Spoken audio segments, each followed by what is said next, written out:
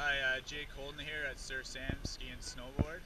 Uh, here we are uh, for the snowboard cross event. Uh, today we had some training. Tomorrow we'll have finals.